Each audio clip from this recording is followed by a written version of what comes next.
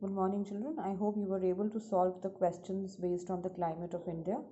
We'll start with the chap- next chapter that is soil resources.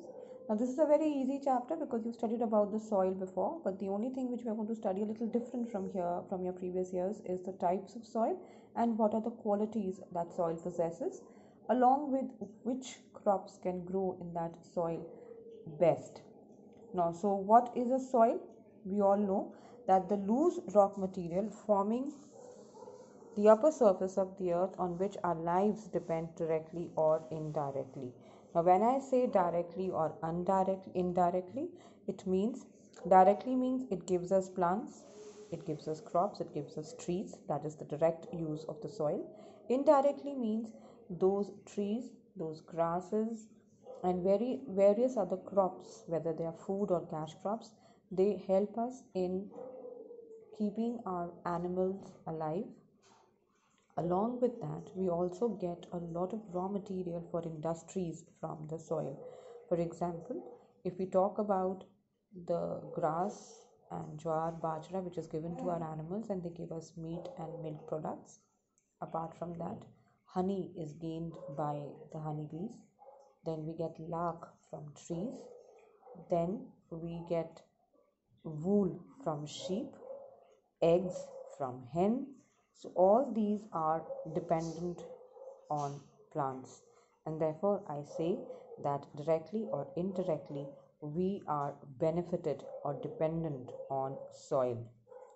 Now, all this is possible because of the formation of soil, and formation of soil is called as pedogenesis, that is the term, and when we study soil, it is called as pedology.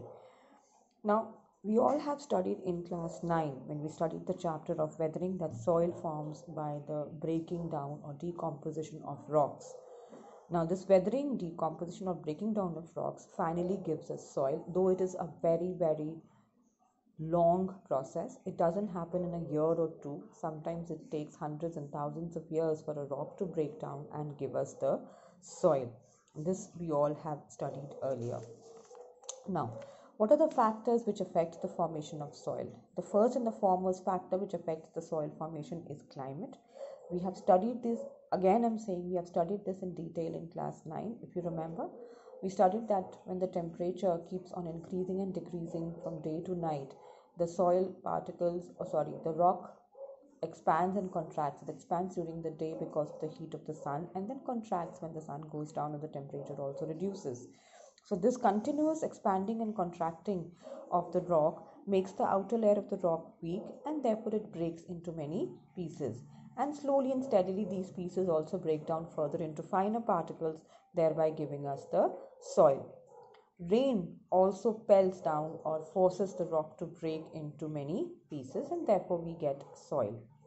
Then of course the kind of rock which is breaking down into many pieces is the kind of soil which we will get. If the rock has iron, the soil will also contain iron. If the rock has potassium, the soil will contain more of potassium. So, the configuration or the quality of the soil or the composition of the soil is dependent on the kind of soil or the kind of rock it breaks from. If the soil is present in hilly areas, the rain impact is more. It flows down and therefore we have very thin soil on the layers or on the slopes of the hill. And of course time as i've spoken to you earlier also that soil formation is a very very time consuming process.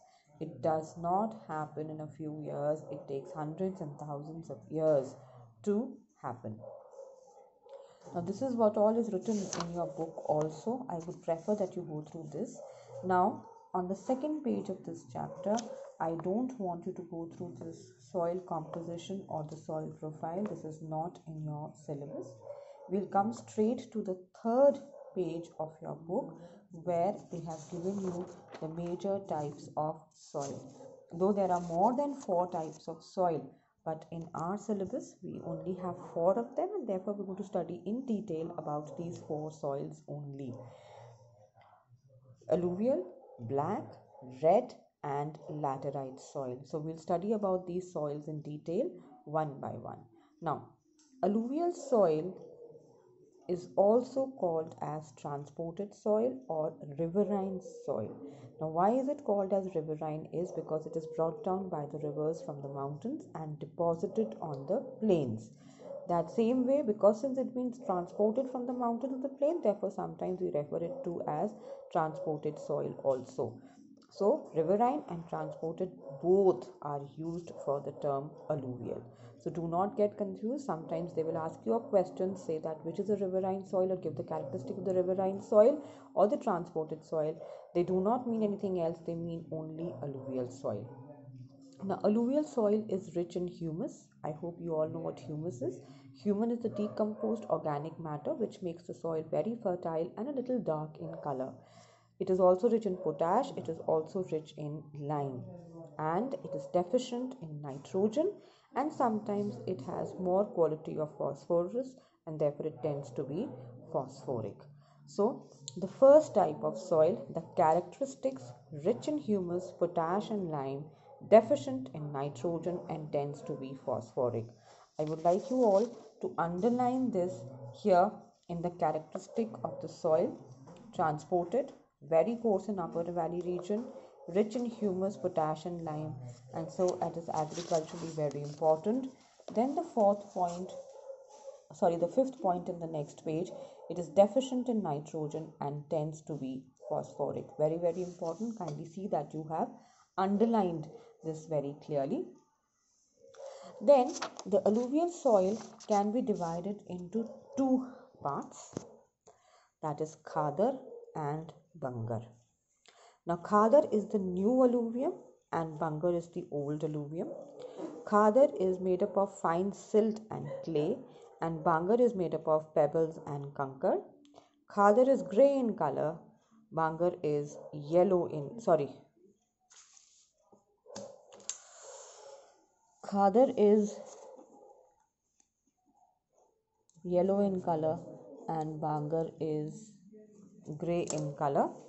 Khadar is very fertile and Bangar is not very fertile. All this is given to you in your book also. If you refer to page 40, Bangar and Khadar, I want you to mark the first, second, fourth, and fifth point here, and here also first, second, fourth, and fifth point only. You need not do any other points here. Then, uh, since alluvial is present in the delta regions in the northern India, and some it is also since rivers are flowing in the peninsular part of India as well. Therefore, we have two different types of alluvial soil one in the north India, and second in the peninsular India. If you pay attention here, this is the map which shows you the alluvial soil. This area comes under northern plains, and this soil which you find on the deltaic regions here we call this as the soil present in the peninsular India. So the properties of this and this are different. Now how are they different? Alluvial soil of northern India is formed by river Indus, Ganga, Brahmaputra and their tributaries. They are porous and they are faint yellow in color and consist of clay and organic matter. While the alluvial soil of the peninsular India Godavari, Krishna, Narmada and Tapi form alluvial soils of this region. They are non-porous. If you see, they are porous in North India and non-porous in the peninsular part. They are faint yellow in color here and they are dark in color. Why are they dark in color? Because we all know that the peninsular plateau consists of black soils. When the rivers are flowing over the peninsular plateau, they sometimes get mixed up with the black soil and therefore the color becomes dark. So these are dark in color as these rivers flow over black soil and they are also clayey in nature. So they consist of clay but they are not clayey and here they are clayey in nature. So I will request you all to go through this. Then the regions where this soil is found is the plains of Ganga, Yamuna, Indus and Brahmaputra. Make sure that when the regions are mentioned, you are talking about certain parts of India and when states are mentioned you give punjab haryana uttar pradesh you can also write west bengal here So you have to be very, very careful when the regions are mentioned. You don't write the states, and when the states are mentioned, you do not write the regions. And the crops which can grow very nicely here are rice, wheat, jute, and pulses. So please underline this accordingly in your books and make sure that you read the first few pages of the chapter chapter 1 2 3 and 4 so pages 4 four pages of the third chapter must be read and then we'll take this chapter further